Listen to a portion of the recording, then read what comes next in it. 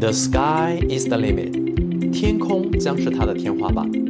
今天的亚洲股票市场比较有意思，基本上是围绕着华人圈最有影响力的三个男人来开展。咱们来看看对股票的表现，用我的技术分析助力您的投资交易。欢迎观看本期航哥新加坡每日股评讯息，我是航哥，新加坡汇利证券的股票经纪。第一位男人是马英九先生。呃，今天去中国内地祭祖，这是海峡两岸自分割以来第一次台湾卸任首脑访问中国内地。但今天台湾指数呢跌了百分之零点五三。第二位男人是马云先生。这位就比较有意思。上午传出中国高层邀请他回国，但被他拒绝的消息。然后下午又传出新闻，马云已经在杭州露面。所以整个阿里巴巴的股票今天像过山车一样，盘中涨幅超过百分之五，但最后几乎是收平。第三位男人是新加坡现任啊李显龙总理。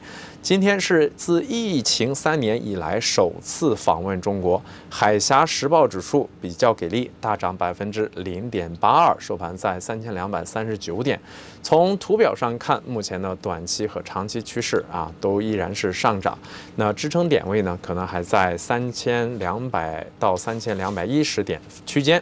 本地三大银行股的股价有所回升，当前的股价对应的预测年化股息率 UOB 为百分之四点五八，DBS 为百分之五点零八，OCBC 为百分之五点四八。那下个月 DBS 会在十号 XD，UOB 则是在二十八号 XD，那 OCBC 则是五月八号 XD。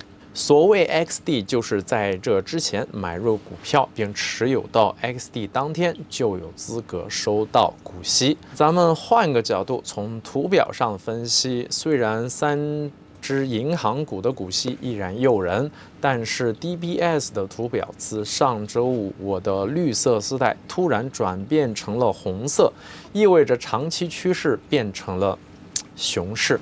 那股价又在红色丝带之下，隐隐让人担忧。这是整个图表中看着不完美的地方。如果近期不能够突破三十四的这个点位的话，那下行的风险还是有的。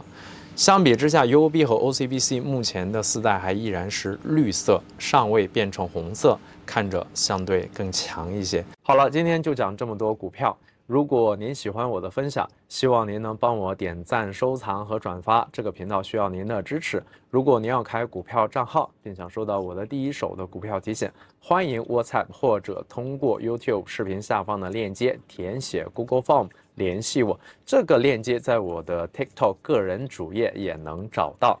关注航哥，航哥新加坡每日股评，用我的技术分析助力您的投资交易。咱们下期见，拜拜。